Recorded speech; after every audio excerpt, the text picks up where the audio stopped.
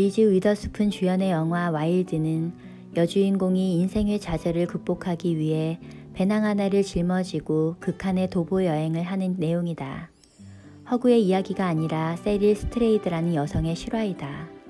그런데 영화를 보고 나서 가장 기억에 남는 건 영화의 내용이나 교훈보다 유난히 큰 주인공 세릴의 배낭이었다.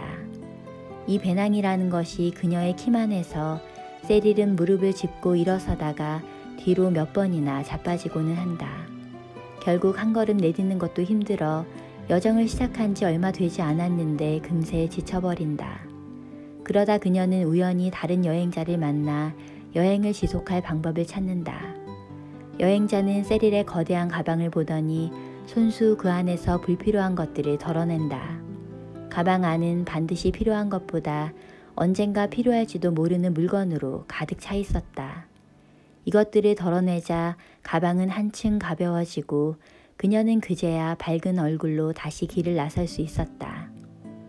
여주인공 세릴의 여행길은 우리의 인생과 다르지 않다. 불필요하게 짊어진 짐이 많으면 원하는 방향으로 나아갈 수 없다. 매일 쌓인 일만큼 머릿속도 분주한 직장 생활. 일의 의미와 보람을 찾기도 전에 당장 내일을 맞이하는 삶. 신문사에서 기자로 일하던 몇 년 전에 나의 모습이었다. 남들에게는 재미있는 일을 하는 듯 보였지만 실상은 상상 이상의 많은 일에 치여 야근을 밥 먹듯 하고 스트레스는 심했고 몸과 마음은 지쳐 있었다. 여기에 개인적인 고난까지 겹쳐 그저 버티며 일만 하는 나날이 계속되었다. 이렇게 슬럼프에 빠져 있던 어느 날 침대에 앉아 있다가 베란다로 무심코 시선을 옮겼더니 지난 10년간 일하면서 모은 7개의 서류 박수가 보였다. 박스를 열자 네 글자임에도 몰라볼 만큼 악필로 쓰여 있던 취재 수첩 40건이 들어있음을 알고 순간 당황했다. 이 쓸모없는 물건을 언젠가 필요할까봐 이사할 때마다 싸들고 다녔던 내가 참 한심하게 느껴졌다. 나는 그날 수첩뿐 아니라 베란다 안의 박스를 모조리 비워냈다. 그렇게 정리를 하고 텅 빈 베란다를 보았을 때 그 순간의 그 느낌은 지금도 생생하다. 답답했던 가슴이 뻥 뚫리는 것 같은 홀가분함. 태어나서 처음 느껴보는 감정이었다. 그것은 해방감이었고 진짜 자유였다. 그때를 시작으로 나는 집안의 물건을 비우기 시작했다. 그렇게 비우고 비워내며 여행 가방에 다 들어갈 만큼으로 줄였다. 그러나 거기서 멈추지 않았다. 일하는 사무실에서의 물건과 정보, 더 나아가 일, 소비, 인맥, 걱정까지도 덜어내어 최소한만을 남겼다. 그러자 신기한 변화가 일어났다. 야근이 줄면서 삶의 여유와 잃어버린 행복을 되찾았고 사람 스트레스와 돈 걱정까지 줄어들게 된 것이다.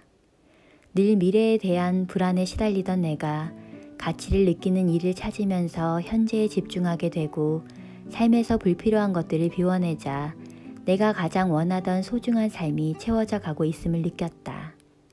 언젠가를 위해 오늘을 희생하며 일하지 않아도 지금 여기에서 하는 일이 행복해졌다. 단순한 것이야말로 마치 마법처럼 무엇보다도 큰 힘을 가졌음을 나의 삶의 변화를 직접 겪으며 깨닫게 된 것이다. 일과 삶은 따로 있지 않다. 성공한 부자들의 경우 일을 도모하기 전에 능률을 끌어올릴 수 있는 환경, 공간에 좋은 에너지가 성과로 이어진다고 말한다. 일을 잘하려면 일단 내 방에서부터 불필요한 것들을 덜어내야 한다. 집에 있는 물건들을 손에 들고 찬찬히 살펴보면서 스스로에게 물어보자. 이 물건이 현재 내 삶을 행복하게 해주는가? 혹시 이것들 때문에 정말 중요한 무언가를 놓치고 있는 건 아닌가? 왜냐하면 물건은 사고 나서가 끝이 아니기 때문이다. 지저분해지면 닦고 폐기물이 생기면 내보내고 그러느라 필요한 일에 쏟아야 할 에너지를 잡아먹는다. 아침에 어질러진 방에서 허겁지겁 출근하고 퇴근 후엔 잔뜩 쌓아놓은 물건과 설거지거리가 먼저 맞이한다. 물건이 많은 집은 가뜩이나 복잡한 삶을 더 복잡하게 만들고 또 다른 노동이 시작되는 곳이다. 반면 물건이 적은 집은 하루의 끝과 시작을 기분 좋게 해주어 몸과 정신의 피로를 덜어주며 일에 좋은 영향을 미친다. 나의 경우 물건을 줄인 뒤 가장 먼저 맞이한 변화는 귀찮은 집안일에서 해방된 것이다. 아침에 일어나면 비행기가 텅 빈 활주로를 지나듯 빗자루와 걸레와 함께 내달린다. 몇 개 되지 않는 식기로 반찬과 밥을 덜어 먹고 설거지를 가볍게 끝낸다. 물건이 여행 가방에 모두 들어갈 만큼 적으므로 필요한 것을 금방 찾아 외출한다. 집으로 돌아오면 방도 싱크대도 막 청소한 것처럼 말끔하니 뒹굴뒹굴 책을 보면서 휴식을 취한다. 저녁에는 여백의 공간에서 오늘 하루 있었던 일을 돌아보고 내일 할 일을 떠올리면 하루가 정리된다. 무늬 없이 깔끔하고 사각거리는 면 이불에 쏙 들어가 기분 좋게 잠을 취하면 다음날 왠지 일을 시작하는 마음도 가볍다. 정갈한 방은 이렇듯 몸과 마음을 리셋하는 힘이 있다. 절에서 스님들이 소유물을 적게 지니고 사는 이유는 단순히 욕심을 적게 지녀야 한다는 불교의 관습 때문만은 아닐 것이다. 깨달음이라는 가장 가치 있는 일에 집중하기 위해 다른 불필요한 것을 최소화시키는 합리적인 이유도 있다. 속세에 사는 평범한 우리의 일도 크게 다르지는 않을 것이다. 불필요한 것들을 줄임으로써 얻을 수 있는 가장 가치 있는 일. 불필요한 것들을 줄이고 얻는 가치 있는 일은 사랑하는 사람과 함께 하거나 아름다운 노을을 바라보는 여유일 수도 하고 싶은 일을 하고 보람을 느끼는 일일 수도 있다. 나는 지난 10년간 수백 명의 스타들을 인터뷰했는데 그들의 삶이 평범한 우리와 크게 다르지는 않아 보였다. 남들을 쫓아 꼭대기에 오르려 애쓰고 또 누군가는 올랐지만 그것이 행복을 보장하지 않는다는 걸 나는 숱하게 봐왔다.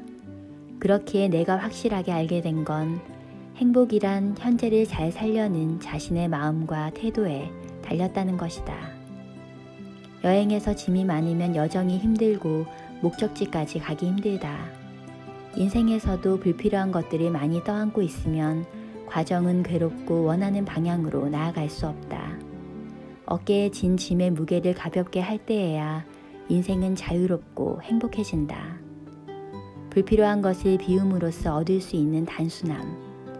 이 단순함이 우리에게 가장 소중한 것들을 찾아줄 것이다.